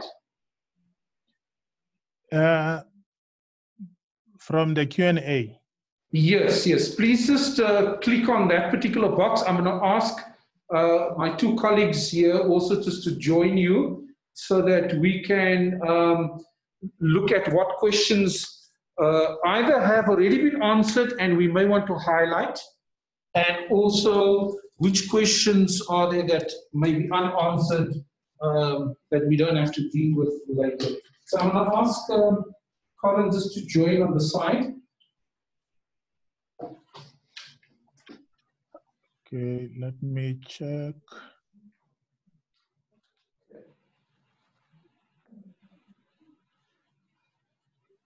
I just want to remind colleagues who are participating that it's important for you to visit our website. It has quite a lot of frequently asked questions that we dealt with before, and as well as all of the resources that some of you were asking for, like presentations, etc. So we will have um, those ones there. So could I then maybe, um, I think it was a compensation specific question. I don't if you found it here, Dr. Mosidi. Yeah, that's. Uh, I see a question that uh, asked about about uh, the ICD-10 code. Yes. That actually says whether we're going to accept the U07.2 code post recovery. So we, we, we know that uh, this code is actually used for emergencies, which is the will be then at the diagnosis of uh, the disease. But once the person has uh, recovered, because in the in, in the fund we capture that uh, code initially to accept the, the claim and uh, with further uh, progression of the patient then we update the codes accordingly so there are various uh, codes that have been proposed by the world health organization that can be also submitted and then we will update on our site. But if it's not uh, submitted, we'll still accept the U07.2 and then we can do the updating on our site. Hmm. Uh, Dr. Mosidi, I'm not sure that very next question, they uh, expressing concern about the situation a vulnerable person was requested to work even though the medical report was handed in. Uh, I think your slide showing your different um, scenarios also indicated that under certain circumstances, people may still be required to be at work. Uh, is, is that the case? Yeah, remember, the if uh, people are still under investigation and the diagnosis is not yet uh, confirmed, then the normal sick leave has to be used. And that will then require a, a report or or sick note from a medical practitioner. But the compensation fund will only come in when the infection has actually been confirmed. And then we will then uh, change the normal sick leave to now occupational sick leave. Okay. Um, there's the, uh, which specific proof is needed as evidence of occupational acquisition I think you addressed that in the slide. Um, the person continues to say we are community beings, commuters, consumers, etc., and also employees. I think it goes to the question of the, the causal link that you raised. Dr. Mosidi? Yeah, the, the, there always need to be a chronology that can actually try to explain how the events actually occurred. So the employer needs to indicate in the form to say that uh, during this uh, period, the employee was uh, expected or to perform these duties on a daily basis and then, uh, you know, deal with customers, work uh, close to, with, with uh, other colleagues and, you know, people where he could potentially have acquired the, the disease. And then the second thing then is that the, the maybe there's a known person who actually tested uh, positive within that uh, group. And then if there's no one who has actually tested uh, positive, we'll then look at the workplace to say that uh, in this workplace, is it a high risk workplace where uh, people will actually be dealing with uh, potential cases on a day to day basis? So if someone is in, in a retail space, you know, there you will necessarily not have uh, people who have been confirmed to to be uh, positive cases, but we know that the industry is actually high risk because of its nature. But the okay. employer has to indicate that the person was working and uh, doing all those things that could have potentially exposed him. Yes, yes. Thanks, Dr. Mosidi. Uh, there's a question here, uh, Masitole, the COVID-19 regulations or circular recommends appointment of compliance officer, meaning the roles are taken from the health and safety or the committee. Please clarify. My sense is that the question is asking if the compliance officer replaces the occupational safety representative and the occupational safety committee. Um, my understanding that's not the case. Um, okay. I think the important thing here to remember is um, that compliance with the regulations for COVID-19 happen in addition to all your regulations that's been in place always. Um, teamwork, I think, would be extremely important here. Um, the compliance officer um, will be a manager. The requirement is that the manager must be appointed as the compliance officer and one of his duties will be to communicate with the um, Occupational Health and Safety Committee. So the, the, the link of, um, of communication and transparency, I think, is extremely mm. important here. So yes, I think that's a very important point. The Occupational Health and Safety Act and all of its regulations still apply. The Compensation Act and all of its guidelines and directives still apply. And the Occupational Safety Act does make provision for the statutory creature called uh, Health and Safety Committee. That creation is there, as well as the Occupational and Safety Representative. The LRA provides for the trade union representative as well. And those legal roles still is in place. I think those are essential structures to ensure that a compliance officer uh, would be able to uh, monitor and ensure that all the contain, containment measures for COVID-19 is in fact in place. So that would be critical and the ongoing conversation, the discussions and transparency, as uh, Carlos has indicated, would be very, very important. Um, so uh, there's a question here about budget and funding to prevent the spread of COVID-19 from Jacobus. Um, and uh, if a department has no funding or budget, how can these employees keep working? My sense is that's one of the points that needs to be dealt with in the COVID-19 conversations, the uh, risk assessment that needs to undertake to ensure that prevention is promoted in the workplace.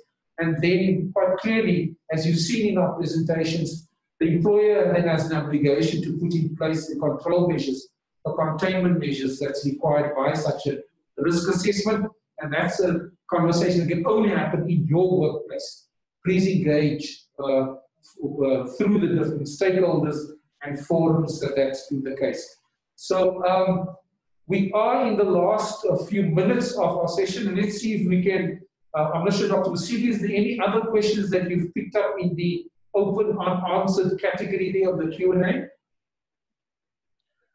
Yeah, there's a one that was talking to a pregnant employee, whether it's high risk or not. So, with a pregnancy, it wouldn't matter which stage of pregnancy the employee is at. Pregnancy in itself will be high risk. And we know that uh, there's a code of uh, good practice that actually gives guidance on how employers need to deal with uh, accommodating pregnant employees.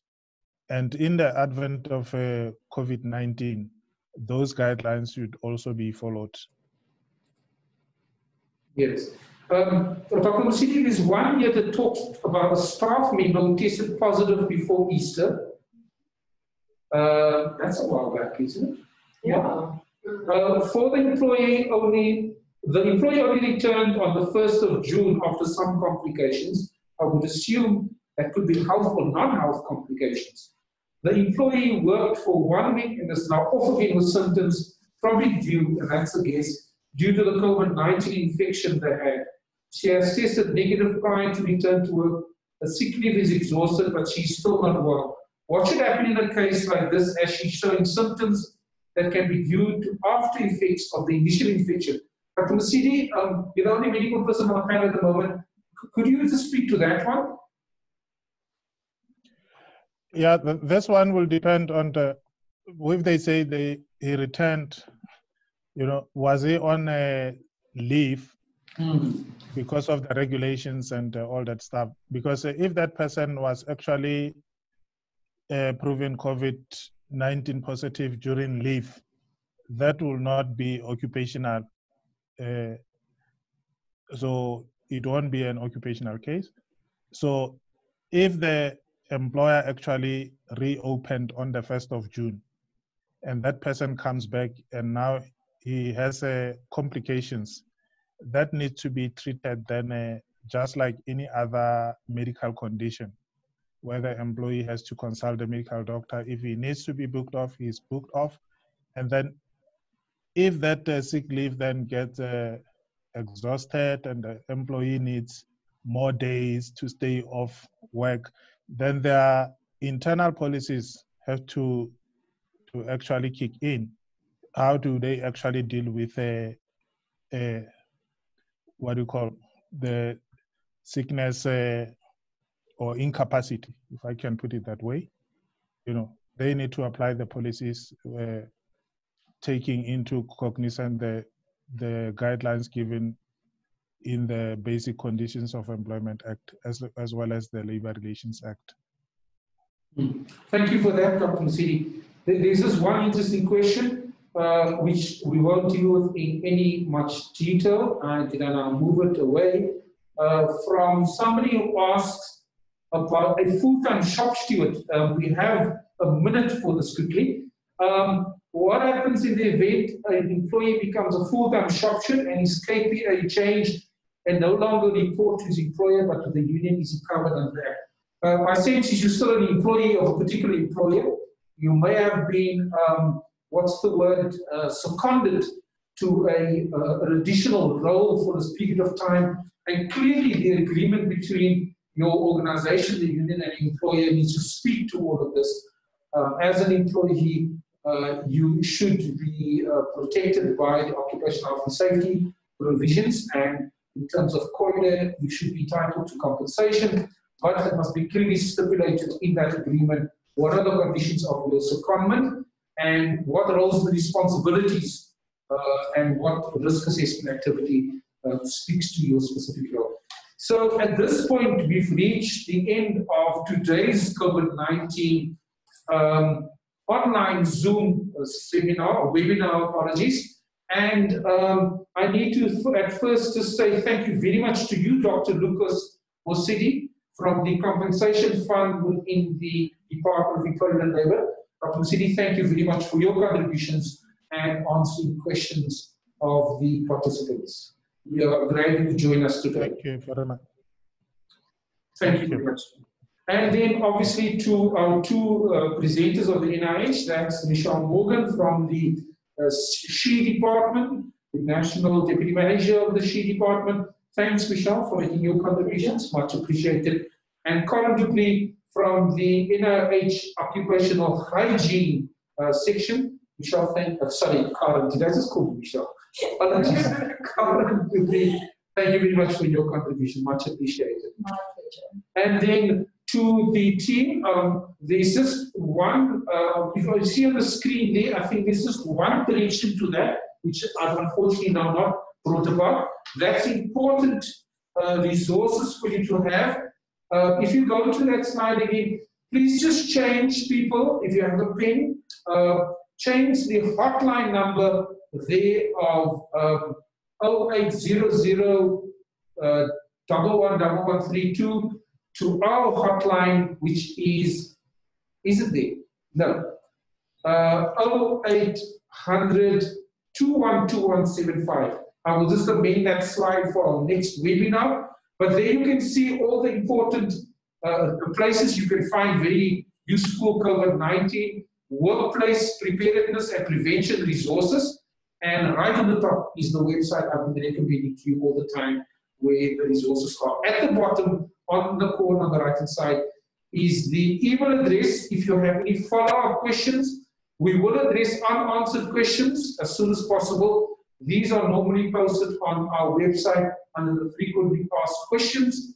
And if there's something very burning and urgent, please email that email address info at nioh.ac.za and phone us at 0800 212175 if it's very urgent. At this point in time, I need to thank you for joining today's uh, partnership webinar between the Wits Consortium and the National Institute for Occupational Health, funded by the Health and Welfare SETA. Uh, thank you and goodbye.